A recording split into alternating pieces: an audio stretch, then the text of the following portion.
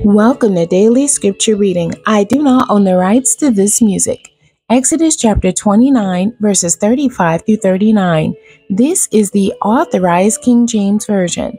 And thus shalt thou do unto Aaron and to his sons, according to all things which I have commanded thee. Seven days shalt thou consecrate them, and thou shalt offer every day a bullock for a sin offering for atonement.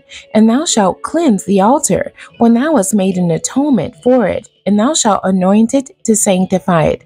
Seven days thou shalt make an atonement for the altar and sanctify it, and it shall be an altar most holy. Whatsoever toucheth the altar shall be holy. Now this is that which thou shalt offer upon the altar two lambs of the first year, day by day, continually.